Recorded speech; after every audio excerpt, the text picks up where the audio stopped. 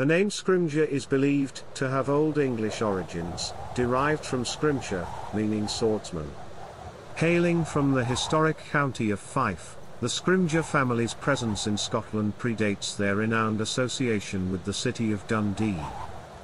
The Scrymgeours' early role was as hereditary royal standard bearers, a position of great honour and significance in medieval Scotland. They may have inherited this responsibility from their Celtic ancestors, who often carried sacred relics into battle.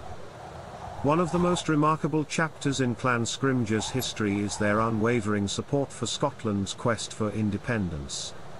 Alexander Scrymgeour was a key figure, pledging allegiance to Robert the Bruce and receiving confirmation of his rights from both Sir William Wallace and Bruce himself. In the 14th century, the Scrymgeour family expanded their influence by marrying into the Glassary family, gaining vast lands in Argyll. Their rise continued as they acquired Dudhope Castle near Dundee, which served as their seat until the late 17th century. The Scrymgeours were not limited to military endeavours, they were active in political affairs as well. Sir James Scrymgeour was a commissioner sent to Denmark to negotiate a royal marriage and played a role in discussions about a political union with England in 1604.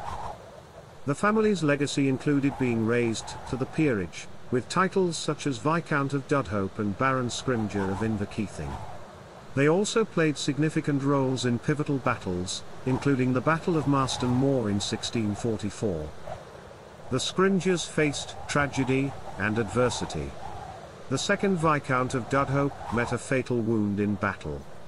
Later, John Scrymgeour, despite his loyalty to the royalist cause, suffered capture and loss of his estates. In the aftermath of the Restoration in 1660, John Scrymgeour was rewarded with the earldom of Dundee, but his line ended without heirs. His estates and titles were seized by the Duke of Lauderdale and later passed to John Graham of Claverhouse, known as Bonnie Dundee. In more recent history, the Scrymgeour family continued to assert their rightful claims to ancient titles and honours. They secured recognition as the 11th Earl of Dundee, and some family members ventured into politics. Today, the Scrymgeour clan maintains its connection to history and tradition from their seat at Birkhill in Fife.